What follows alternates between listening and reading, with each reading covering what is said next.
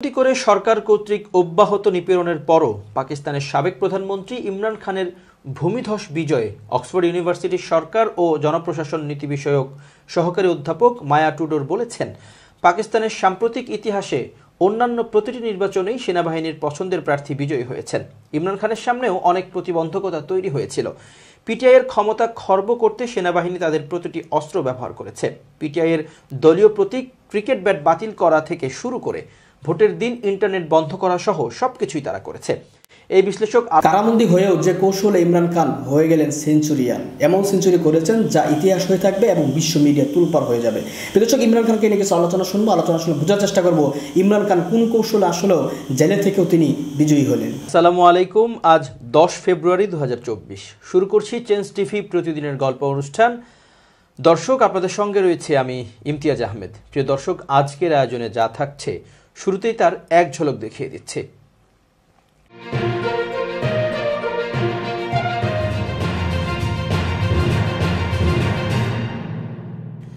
এবার বিস্তারিত। এই প্রথম বিশ্বে কোনো দেশের শীর্ষ নেতার এআই ভাষণের ভাষণ প্রচারিত করা হলো। পাকিস্তানের সাবেক প্রধানমন্ত্রী ইমরান খান কারাবন্দী থাকায় জনগণকে ধন্যবাদ জানাতে পিটিআই এআই ভার্সনে তার শুভেচ্ছা বক্তব্য প্রচার করে। সেই এআই ভাষণে পাকিস্তানের সাবেক প্রধানমন্ত্রী ইমরান খান বলেছেন, জাতীয় নির্বাচনে তার দলের সমর্থকেরা সবাইকে চমকে দিয়েছে। পাকিস্তানে বৃহস্পতিবার অনুষ্ঠিত জাতীয় নির্বাচনের সর্বশেষ ঘোষিত ফল অনুযায়ী পিটিআই সমর্থিত প্রার্থীরা সবচেয়ে বেশি আসনে জয়ী হওয়ার প্রতিক্রিয়ায় এই কথা বলেছেন ইমরান খান। শুক্রবার রাতে এক্স হ্যান্ডলে কৃত্রিম বুদ্ধিমত্তার মাধ্যমে তৈরি ইমরান খানের একটি বক্তব্য প্রচার করা হয়। সেখানে তিনি বলেন, নজিরবিহীনভাবে জাতি ঘুরে দাঁড়িয়েছে। এতে জাতীয় নির্বাচনে পিটিআই বিজয়ী হয়েছে। পাকিস্তানের উদ্দেশ্যে ইমরান খানকে তাতে বলতে শোনা যায়, পাকিস্তানের জনগণ আপনারা ইতিহাস গড়েছেন। আমি আপনাদের নিয়ে গর্বিত। পুরো জাতিকে ঐক্যবদ্ধ করায় সৃষ্টিকর্তার প্রতি অশেষ কৃতজ্ঞতা। ইমরান খান আরও বলেন, এখন আমাদের কেউ দাবিয়ে রাখতে পারবে না। শেষ কথা বলতে চাই, চিন্তা করবেন না। বিজয় উদযাপন করুন আর আল্লাহকে ধন্যবাদ দিন। দুই বছরের জুলুম ও অন্যায়ের পরও আমরা দুই তৃতীয়াংশ সংখ্যাগরিষ্ঠতা নিয়ে নির্বাচনে বিজয়ী হয়েছি। প্রত্যেকে নিজেদের ভোটের শক্তি দেখিয়েছেন। এবার আপনাদের ভোটকে রক্ষার জন্য প্রস্তুত থাকুন। পাকিস্তান মুসলিম লীগের নেতা নওয়াজ শরীফের সমালোচনা করে ইমরান খান তার বক্তব্যে বলেন, কোনো পাকিস্তানি তাকে মেনে নেবে না। ভোট জালিয়াতির অভিযোগ তুলে ইমরান আরও বলেন, আন্তর্জাতিক সংবাদ মাধ্যমগুলো ভোট জালিয়াতির বিষয়ে প্রশ্ন তুলেছে। কারাবন্দি করে সরকার কর্তৃক অব্যাহত নিপীড়নের পরও পাকিস্তানের সাবেক প্রধানমন্ত্রী ইমরান খানের ভূমিধস বিজয়ে অক্সফোর্ড ইউনিভার্সিটির সরকার ও জনপ্রশাসন নীতি বিষয়ক সহকারী অধ্যাপক মায়া টুডোর বলেছেন, পাকিস্তানের সাম্প্রতিক ইতিহাসে অন্যান্য প্রতিটি নির্বাচনেই সেনাবাহিনীর পছন্দের প্রার্থী বিজয়ী হয়েছেন। ইমরান খানের সামনেও অনেক প্রতিবন্ধকতা তৈরি হয়েছিল। পিটিআইয়ের ক্ষমতা খর্ব করতে সেনাবাহিনী তাদের প্রতিটি অস্ত্র ব্যবহার করেছে। পিটিআইয়ের দলীয় প্রতীক ক্রিকেট ব্যাট বাতিল করা থেকে শুরু করে ভোটের দিন ইন্টারনেট বন্ধ করা সহ সবকিছুই তারা করেছে। এই বিশ্লেষক আরও বলেন, ইমরান খান ছাড়াও দলটির অনেক নেতাকে বিভিন্ন মামলায় কারাবন্দী করা হয়েছে। মামলার আসামি হয়ে অনেক নেতা পালিয়ে বেরিয়েছেন। বৈরি এই পরিস্থিতির মধ্যেও নির্বাচনে পিটিআই সমর্থিত প্রার্থীদের চমক জাগানোর মতো ফলের পেছনে বেশ কিছু কারণ রয়েছে। তার মধ্যে অন্যতম হলো, তরুণদের মধ্যে পিটিআইয়ের বিপুল সমর্থন। এই তরুণ ভোটাররা যেহেতু যোগাযোগের নতুন প্রযুক্তিতে অভ্যস্ত, সে কারণে নির্বাচনী প্রচারে ডিজিটাল মিডিয়ার উপর নির্ভর করেন পিটিআই নেতারা। কারাবন্দি ও আত্মগোপনে থেকেও তারা ডিজিটাল মিডিয়ার মাধ্যমে ভোটারদের কাছে নিজেদের বার্তা পৌঁছে দেন। পুলিশ সহ আইন শৃঙ্খলা রক্ষাকারী বাহিনীর চোখ এড়াতে অনেকেই অজ্ঞাত স্থান থেকে ভার্চুয়াল মাধ্যমে যুক্ত হয়ে সমাবেশে বক্তব্য দেন। অক্সফোর্ড ইউনিভার্সিটির সরকার ও জনপ্রশাসন নীতি বিষয়ক সহকারী অধ্যাপক মায়া টুডুর বলেন, বিজয়ী হলেও পিটিআইয়ের সামনের পথ দুর্গম হবে। তিনি বলেন, নাজুক অর্থনীতি, প্রায় সব সীমান্তে সংঘাত, মূল্যস্ফীতি বৃদ্ধি, এসবই এখন সাধারণ পাকিস্তানিদের সামনে রয়েছে। পাকিস্তানের শীর্ষ গণমাধ্যম জং পত্রিকার অনলাইন ভার্সনে বলা হয়, নির্বাচনে পরাজিত হয়েছেন জমিয়তি ওলামাই ইসলামের সভাপতি মালানা ফজলুর রহমান। পিটিআইয়ের প্রার্থীর কাছে তিনি পরাজিত হন। পরাজয় বরণ করেছেন জামায়াতে ইসলামীর আমির সিরাজুল হক। এছাড়া পরাজিত হয়েছেন নওয়াজ শরীফের দলের বিশিষ্ট নেতা সাদ রফিক, আইপিপির চেয়ারম্যান জাহাঙ্গীর তারিন, পিটিআই নেতা পারভেজ এলাহি, আওয়ামী ন্যাশনাল পার্টির অলি খান, আইএনপির আমির হায়দার হুতি শাহ হামজা কুরেশির মেয়ে মেহেরবানু কুরাইশি, মুসলিম লীগ নেতা জাবেদ লাতিফ, প্রাদেশিক মন্ত্রী গোলাম আহমদ বালুর।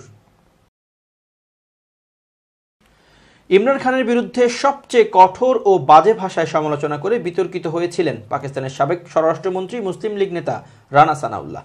সেই রানাকে হারিয়ে দিয়েছেন পিটিআই সমর্থিত স্বতন্ত্র প্রার্থী নিসার জাট পাক সংবাদ মাধ্যম এ আর ওয়াই জানিয়েছে রানা সানাউল্লাহর সঙ্গে জাতীয় পরিষদের একশোতম আসনে প্রতিদ্বন্দ্বিতা করেছিলেন নিসার জাট। বেসরকারি ফলাফলে জানা গেছে, রানা সানাউল্লাহ পেয়েছেন এক লাখ বারো হাজার চারশো তিন ভোট।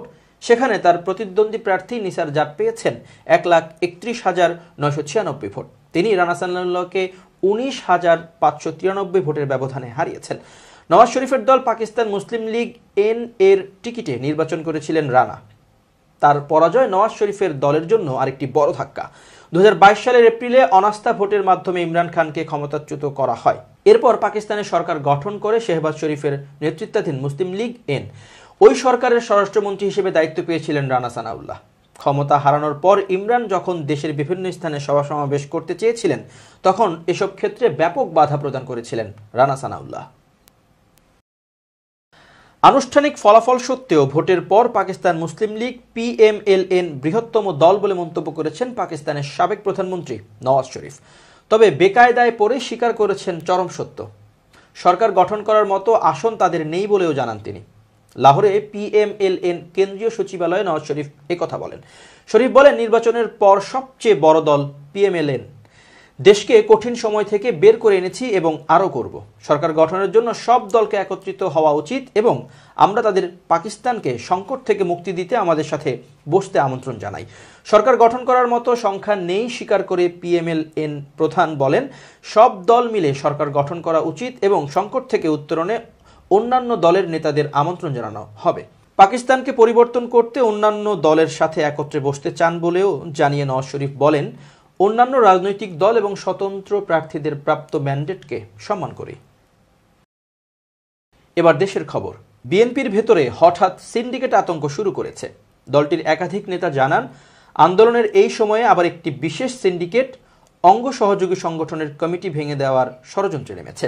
জাতীয়তাবাদী ছাত্রদল, যুবদল ও স্বেচ্ছাসেবক দলের শীর্ষ নেতাদের নামে নানা অপপ্রচারও চালাচ্ছেন তারা। সংগঠনের মেয়াদ শেষ হলে নতুন কমিটি হবে এটাই স্বাভাবিক। কিন্তু জাতীয়তাবাদী ছাত্রদল, যুবদল ও স্বেচ্ছাসেবক দলের কমিটির মেয়াদ এখনও রয়েছে। যদিও এ নিয়ে এখন পর্যন্ত স্থায়ী কমিটি বা কোনো ফোরামের বৈঠকে কোনো আলোচনা হয়নি। নেতারা জানান, মেয়াদ শেষের আগেই কমিটি ভাঙলে তা হবে আত্মঘাতী সিদ্ধান্ত। কেননা, চলমান আন্দোলনে মূল দল বিএনপির চেয়ে এসব অঙ্গ সহযোগী সংগঠনের নেতাকর্মীদের সারা দেশে ভূমিকা ছিল চোখে পড়ার মতো। এখন কমিটি ভাঙলে তাদের ভূমিকাকে প্রশ্নবিদ্ধ করা হবে। এতে মনোবল হারাবে নেতাকর্মীরা। যার প্রভাব পড়তে পারে সামনের আন্দোলনে। কেননা, পুনর্গঠনে হাত দিলে নেতাকর্মীরা আন্দোলনমুখী না হয়ে সেদিকে মনোযোগ থাকবে। বর্তমান পরিস্থিতিতে ওই বিশেষ সিন্ডিকেটের কি উদ্দেশ্য বা কাদের এজেন্ডা বাস্তবায়নে এসব করেছেন, তা নিয়েও প্রশ্ন তুলেছেন নেতারা। এ নিয়ে অঙ্গ সংগঠনে ক্ষোভ বিরাজ করছে। বিএনপির মধ্যম সারির নেতারা আরও জানান, নির্বাচন শেষ হলেও নেতাকর্মীরা এখনও আশাবাদী বর্তমান সরকার মেয়াদ পূর্ণ করতে পারবে না। আন্দোলন চলতে থাকলে আগামী ছয় মাস বা এক বছরের মধ্যে ফলাফলও ঘরে আনা সম্ভব। সেক্ষেত্রে অন্যদিকে মনোযোগ দেওয়ার অর্থ হলো আন্দোলনকে ভেস্তে দেওয়া। অঙ্গ সহযোগী সংগঠনের নেতাদের সঙ্গে কথা বলে জানা গেছে, বিশেষ করে যুবদল, ছাত্রদল ও স্বেচ্ছাসেবক দলের বর্তমান কমিটি সিন্ডিকেট মুক্ত। কারণ এসব কমিটি সরাসরি ভারপ্রাপ্ত চেয়ারম্যান করেছেন। সেজন্য নেতারা তার নির্দেশ মতোই সব কাজ করছে। কিন্তু এখন নিজেদের হাতে এসব কমিটি নেওয়ার জন্য ওই সিন্ডিকেট উঠে পড়ে লেগেছে। বাস্তবতা হলো, অঙ্গ সহযোগী সংগঠনের নেতাকর্মীরাই সারা দেশে মূলত আন্দোলন জোরদার করেছে। ভারপ্রাপ্ত চেয়ারম্যানের নানা নির্দেশনা তৃণমূলে পৌঁছে দিয়েছে। আর সিন্ডিকেটের উদ্দেশ্য হলো সংগঠন দুর্বল করা যাতে পদবাণিজ্য করতে সুবিধা হয়। বিএনপির স্থায়ী কমিটির সদস্য গয়েশ্বরচন্দ্র রায় বলেন, দলের ভেতরে হতাশার সৃষ্টির জন্য কেউ কেউ এ ধরনের অপপ্রচার চালিয়ে থাকতে পারে। কিন্তু কোনো অপপ্রচারে বিএনপি ও জনগণকে দমিয়ে রাখা যাবে না। জনগণকে সঙ্গে নিয়ে গণতন্ত্র ফিরিয়ে আনার প্রতিশ্রুতিতে আমরা চলমান আন্দোলনে আছি। আন্দোলনের গতি এক এক সময় এক এক রূপ নেয়। অপেক্ষা করুন, নিশ্চয়ই আন্দোলনে দেখতে পাবেন। তিনি আরও বলেন, বিএনপি সহ সমমনা বাষট্টিটি রাজনৈতিক দলের সাত জানুয়ারির একতরফা নির্বাচন বর্জনের সিদ্ধান্ত সঠিক ও যৌক্তিক ছিল। বিএনপির আবেদনে সাড়া দিয়ে নির্বাচন বর্জন ও ফল প্রত্যাখ্যানের মাধ্যমে জনগণ প্রমাণ করেছে যে বিএনপি ও যুগপথ আন্দোলনের প্রতিটি রাজনৈতিক দলের অবস্থান গণ আকাঙ্ক্ষারই প্রতিফলন।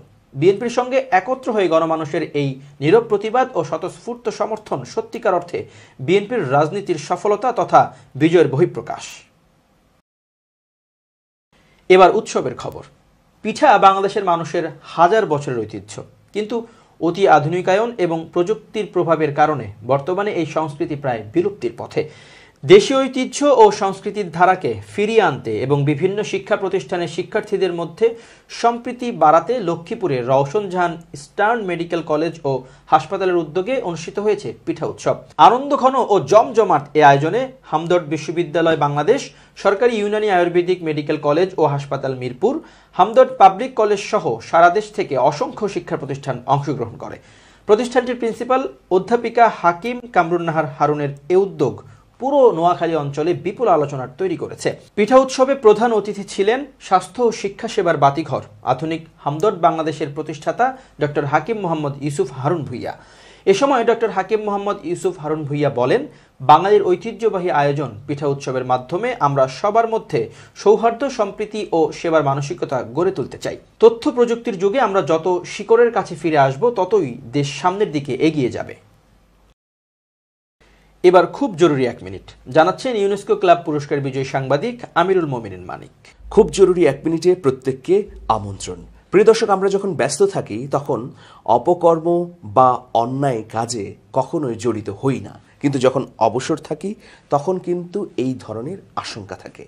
এই প্রশ্নটি অনেককে করা হয় যে, অবসরে কি করেন? তখন কেউ বলেন, গান শুনি, বই পড়ি, বেড়াতে যাই, ইত্যাদি ইত্যাদি বিষয়ে।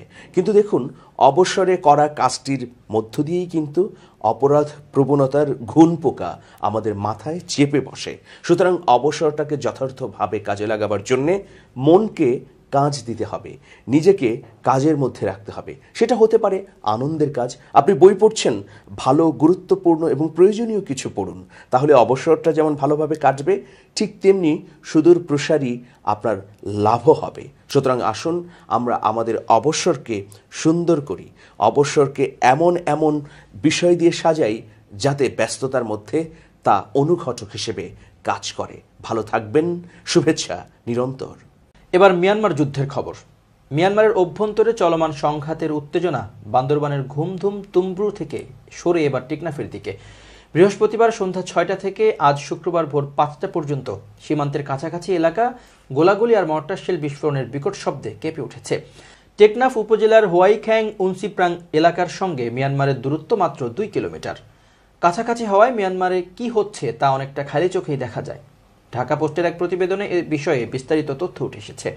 উনসিপ্রাং সীমান্তের স্থানীয়দের দাবি, ওপারে ঢেকিবুনিয়া এলাকায় মিয়ানমার সীমান্ত রক্ষীর বাহিনীর ঘাঁটিগুলো দখল করে দক্ষিণ দিকে এগিয়ে যাচ্ছে আরাকানা আর্মি ও অন্যান্য বিদ্রোহী গোষ্ঠীগুলো। এই কারণে টেকনাফ অংশে মিয়ানমারের শহর শিলখালি, বলিবাজার ও কুইরখালি থেকে এসব বিস্ফোরণের শব্দ আসছে। অনসিপ্রাং স্থানীয় বাসিন্দা বলেন, বৃহস্পতিবার সন্ধ্যা থেকে আজ ভোর পাঁচটা পর্যন্ত সীমান্তের কাছাকাছি এলাকায় ভারী অস্ত্রের বিকট শব্দ শুনতে পেয়েছি। এ শব্দে এলাকা কেঁপে উঠেছে। মনে হচ্ছে বজ্রপাত হচ্ছে। এরকম শব্দ জন্মের পরও শুনিনি। আরেক বাসিন্দা বসত করিম বলেন, আমি চিংড়ি চাষি। মিয়ানমারের সীমান্তের কাছাকাছি বাংলাদেশ অংশে মাস্টারের প্যারা এলাকায় আমার চিংড়ির ক্ষেত। মিয়ানমারে কি হচ্ছে, না হচ্ছে, সেটি খালি চোখে দেখা যায়। বিকেলের দিকে কালো পোশাক পরা মানুষের সঙ্গে মিয়ানমারের নাসাকা বাহিনীর গুলি বিনিময় হচ্ছে। কিছু মানুষ আমাদের সীমান্তে বিলার দ্বীপের দিকে আশ্রয় নিয়েছে। লাগাতার বোমা হামলা হচ্ছে। বোমার বিস্ফোরণের শব্দে কেঁপে উঠছে এবার। হোয়াইখ্যাং ইউনিয়ন পরিষদের চেয়ারম্যান নূর মোহাম্মদ আনোয়ারি বলেন, উনসিপ্রাং, কাঞ্জরপাড়া, খারাংখালি, ঝিমনখালি এলাকায় ভারী অস্ত্রের বিকট শব্দ শোনা যায়। এতে আতঙ্কিত হয়ে পড়ে সীমান্তের কাছাকাছি থাকা চিংড়ি চাষিরা। কয়েকদিন আগেও বসত ঘরে গুলি এসে পড়ে। অল্পের জন্য জীবন রক্ষা পায়। শোনা যাচ্ছে, শিলখালি, বলিবাজার ও কুইরখালি ঘাটি দখল নিতে বিদ্রোহীরা হামলা করছে। হোয়াইখ্যাং ইউনিয়ন পরিষদের উনঝিপ্রাং তিন নম্বর ওয়ার্ডের সদস্য রশিদ আহমেদ বলেন, গতকাল সন্ধ্যা থেকে আজ ভোর পর্যন্ত সীমান্তের ওপারে মিয়ানমারের কয়েকটি এলাকায় ভারী অস্ত্রের বিকট শব্দ পাওয়া গেছে। এতে আমাদের এলাকা কেঁপে উঠছে। মিয়ানমারের অভ্যন্তরে চলমান সংঘর্ষের জেরে এখন পর্যন্ত দেশটির সীমান্তরক্ষী বাহিনী, বিজিপি, মিয়ানমারের সেনাবাহিনী, পুলিশ, ইমিগ্রেশন সদস্য ও অন্যান্য সংস্থার তিন শতাধিক সদস্য বাংলাদেশে প্রবেশ করেছে। বর্ডার গার্ড বাংলাদেশ বিজিবি তাদের সম্পূর্ণ নিরস্ত্রীকরণ করে নিরাপদ আশ্রয় দিয়েছে এবং আহতদের চিকিৎসা সেবা দিচ্ছে। এবার দেশের বাইরের খবর। কন্টেন্ট বিষয়ক নীতিমালা ভঙ্গের অভিযোগ এনে ইরানের সর্বোচ্চ নেতা আয়াতুল্লাহ আলী খামেনির নামে পরিচালিত ফেসবুক ও ইনস্টাগ্রাম অ্যাকাউন্ট সরিয়ে ফেলা হয়েছে। সামাজিক যোগাযোগ মাধ্যম দুটির মাতৃ প্রতিষ্ঠান এই সিদ্ধান্ত বাস্তবায়ন করেছে। মেটার মুখপাত্র। দর্শক, দেখলেন, আলোচনা শুনেছেন ইমরান খানের কি কৌশল তিনি করেছেন। কৌশল তো সবচেয়ে বড় হচ্ছে তার জনপ্রিয়তা, আর একটা সবচেয়ে বড় কাজ হচ্ছে বা পাকিস্তানি নির্বাচন কমিশন তারা সুষ্ঠু নির্বাচন করেছে, এটাই হচ্ছে সবচেয়ে। আজকে যদি বাংলাদেশের মধ্যে নির্বাচন হতো যত জনপ্রিয়তা থাক তারেক রহমানের মতো ষাটটার বেশি আসন পাইতো না। যাই হোক, প্রিয় দর্শক, ইমরান খান, আমরা চাই তিনি যেন আবার সরকার গ্রহণ করবেন এবং ইমরান খান পাকিস্তানে একটি মুসলিম স্বাধীন দেশ হিসাবে তিনি গড়ে তুলবেন।